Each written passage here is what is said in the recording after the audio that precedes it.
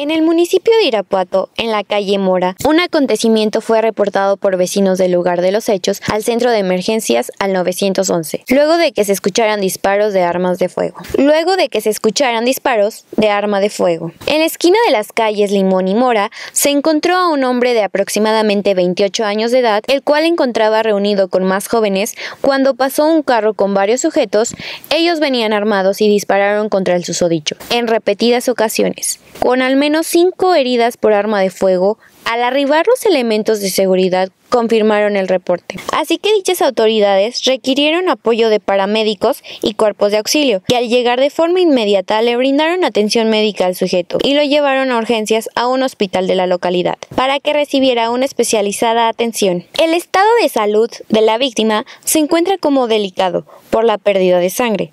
El área donde ocurrió el acontecimiento fue acordonada para que peritos y agentes de la Fiscalía General de Justicia del Estado hagan sus averiguaciones propias a la ley para definir la mecánica del hecho y así esclarecerlo.